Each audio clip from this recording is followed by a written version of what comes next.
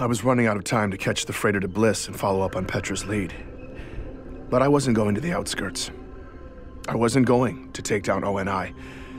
I was going to sit here, in between the floor joists of my old bedroom, and let all those loose bits of silica glass poke through my clothes and scratch up my skin.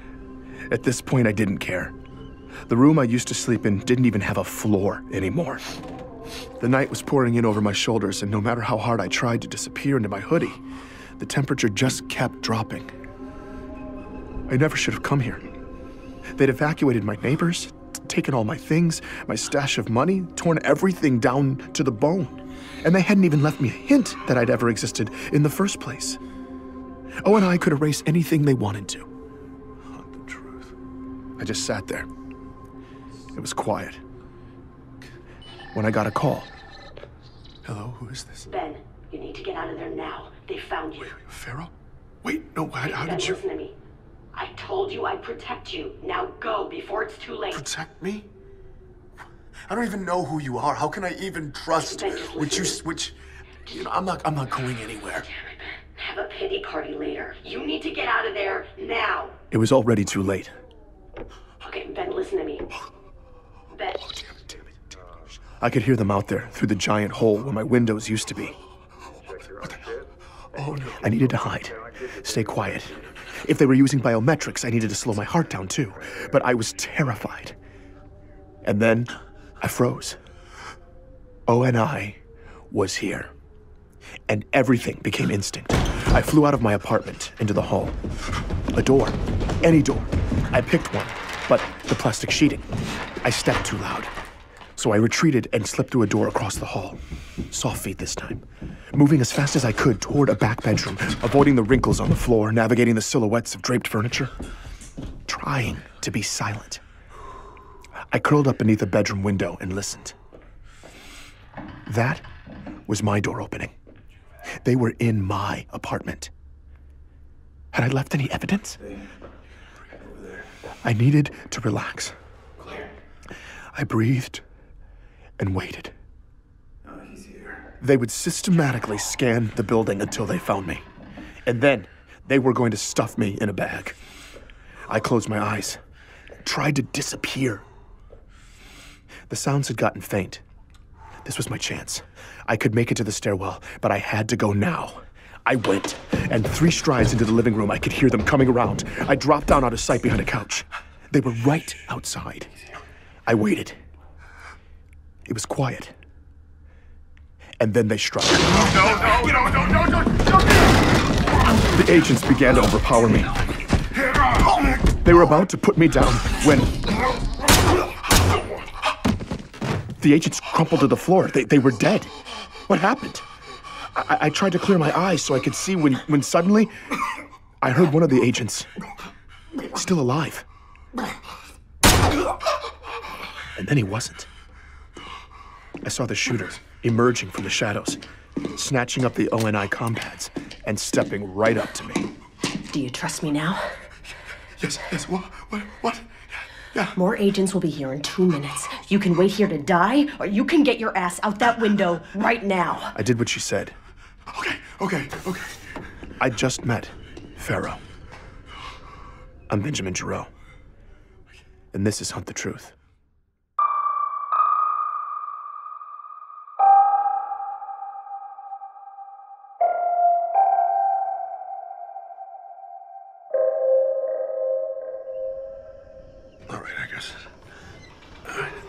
Fero led the way along the ledge to the fire escape. I was trying not to look down. We jumped the last several feet, and I immediately ran across the street to take cover. Fero, where are we going? Stop talking.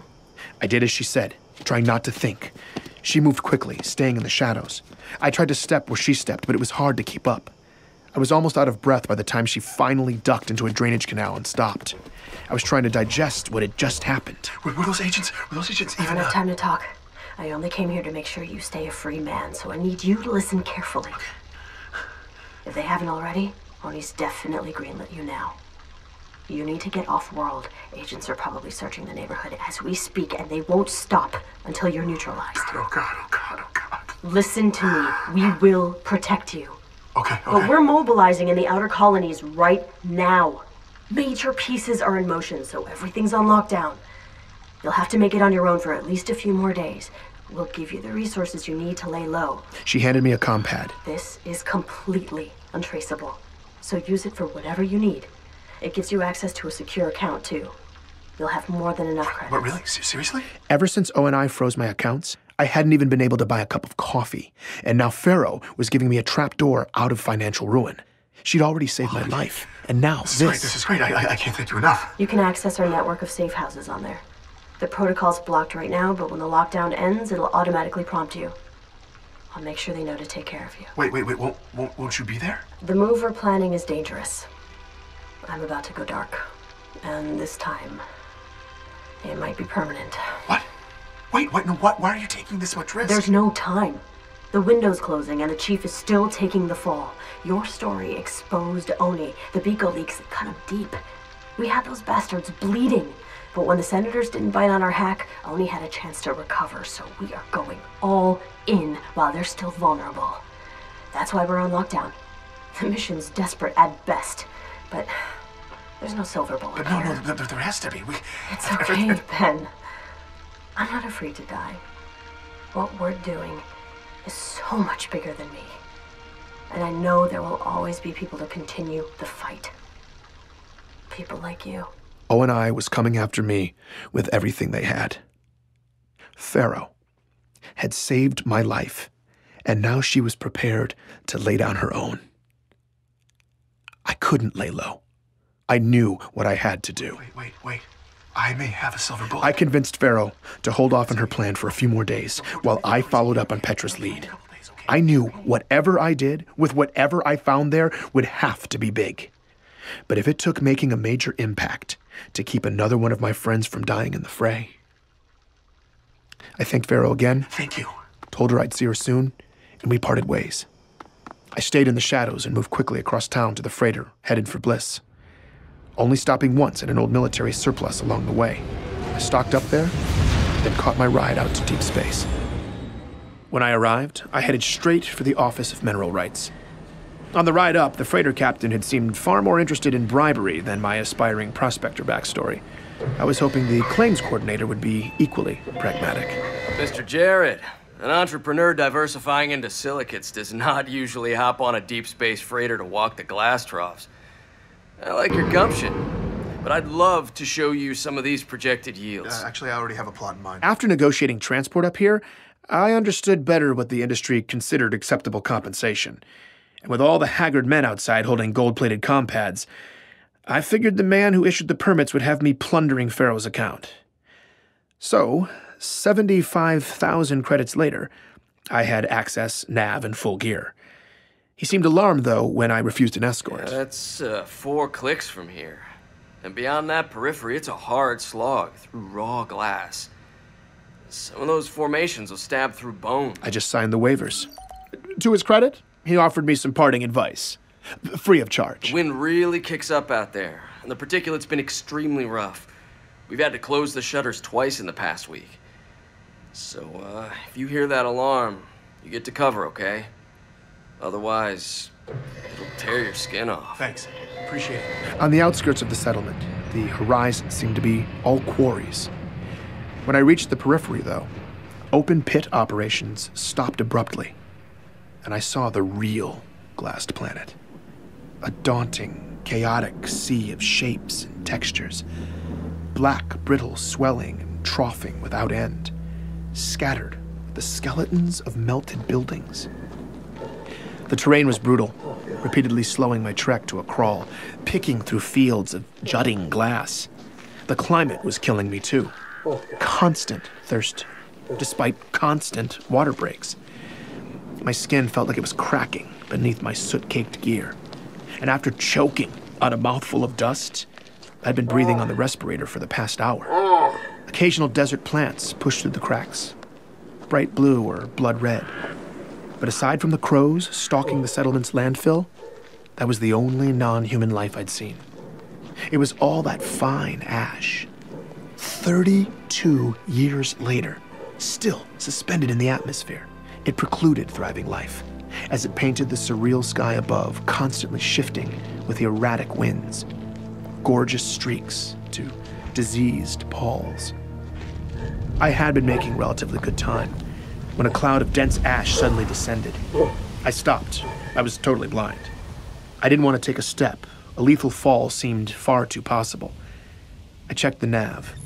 Only 1,200 feet to go. I was debating whether or not to wait out the fog when it suddenly lifted. It was beautiful for a moment. When a low, rising growl snapped me out of that reverie. The storm siren. I pulled up the nav and started moving as fast as I could. Sudden pockets of cold, hot, then cold again. The wind whipping sharply back and forth, bits of sand spraying against me. But I didn't see anything. Behind me, everything was calm. In front, the sky above the mountains were perfectly clear. Where was the storm? I looked down at the nav. Oh, only a few hundred feet to go. Ahead, I saw the ruins of a huge complex. I'd be there in no time. But then I realized it. Those weren't mountains. A black wall was coming from the horizon, and it was coming right at me. I flat out sprinted. The storm was closing in. It was the color of night and impossibly tall. I got to the ping on the map. The structure had been leveled. There was nowhere to go, and the sand was flying faster, stinging my cheeks. I looked around desperately, trying to shield my face. There was a massive collapsed section up ahead. I scurried over, bits of glass starting to spray against the debris, like tinkling wind chimes. The glass was stinging through my clothes. I half climbed, half slid down the waves that oozed and sloped to the pit, slicing my leg on the way down. The sound was deafening. I had to get in now. I started tugging at a split in the collapsed floor. The storm blasted harder, my skin on fire. I made one last push. The glazing shattered, and I slid in as the wall of glass exploded overhead, and I plunged into the darkness.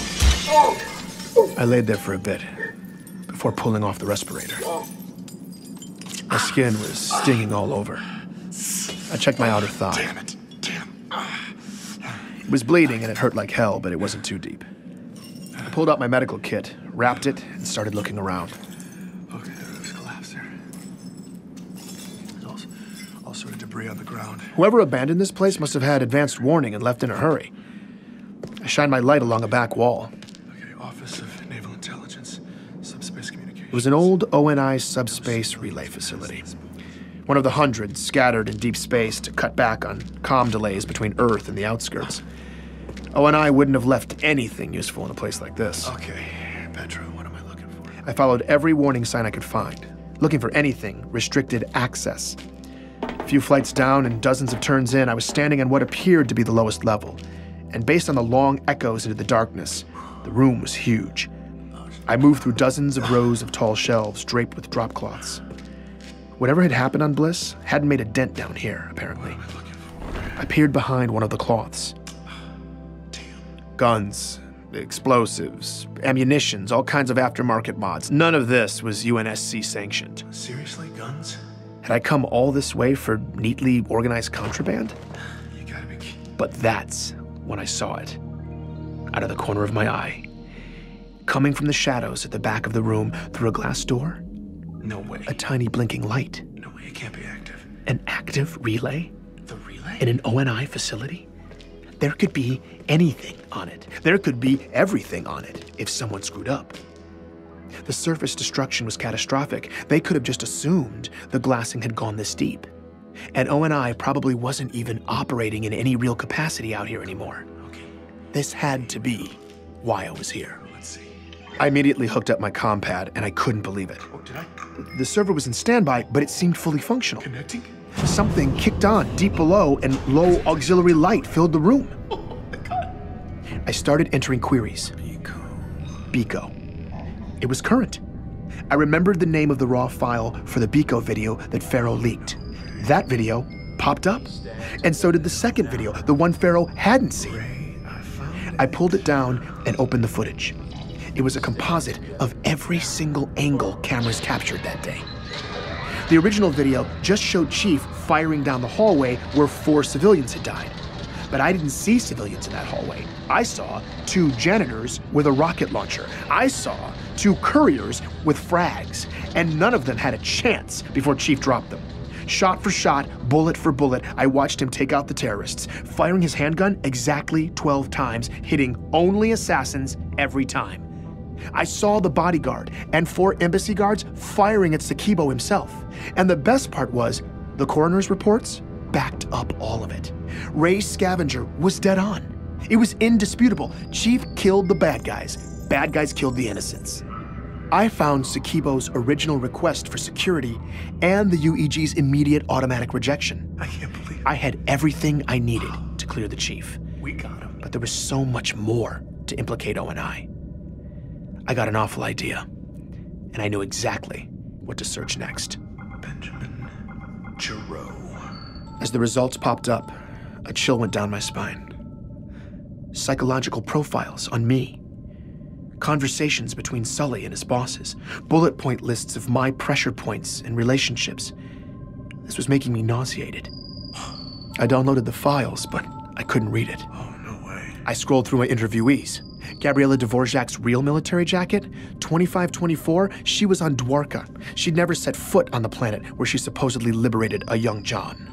The war camp survivor Thomas Wu, the man who also lied about there being camps on John's planet, O and I chose the carrot over the stick with him. They promised to fund more memorials and awareness campaigns for survivors of the insurrectionist camps that Thomas and countless others endured. I found the actors, too. Walker, I see you, bastard. Paul Gustafson, aka Jacob Walker, was in there. His acting resume, personality notes, agreements to surrender existing work and retire. And then I found Dion, or Simon Kensington. There was even video of him rehearsing, tweaking his Dion delivery, responding to whatever prompts his ONI handler was giving. As I listened to him discuss my emotional vulnerabilities, my nausea turned to rage. Bastards. But when it came to the story I'd never wanted to hear Anthony's story of the Spartan program I realized I was still scared to see hard evidence to prove the rumors. But I went for it. I quickly found myself looking at highly classified assignments pushed to ONI scouts in 2516. Queries and requisitions from planet after planet, weighted toward the outer colonies. And then the qualifications for the Spartan 2 program a list of physical and mental criteria, genetic compatibility with a slate of augmentation procedures, and optimal age six years or younger. I did one last search. John 117. There he was, on a list in 2517. I began to follow his name on a trail of documents that continued past the day his parents thought they'd buried him. The progress reports, written by scientists, language you'd use to describe an expensive technological prototype. But they were talking about a child. They had done that to a hero to my hero and countless other children. I was just digging in when What the hell was that? corrupted files started hitting my compad. I immediately disconnected from the server and checked the files. They were fine. Oh, thank God. Then, it just shut down. Wait, wait, no. Oh, no. I was terrified. Had I gone over Petra's 72 hour window? H- Had ONI just caught me looking? I checked the time. Okay. I was fine. Okay, I'm fine. But then, It's okay. what was that? I looked at the server one more time. That little standby light? It was glowing brighter, pulsing at me. I was starting to lose it, but it didn't matter. I had what I needed, and the storm was over. I emerged from the bunker. It was time to leave this sad, ashy nightmare behind. As I trekked back across the wasteland, I stepped with more confidence. I knew this terrain now, and I had ONI right where I wanted them. Please, join me for the next episode of Hunt the Truth.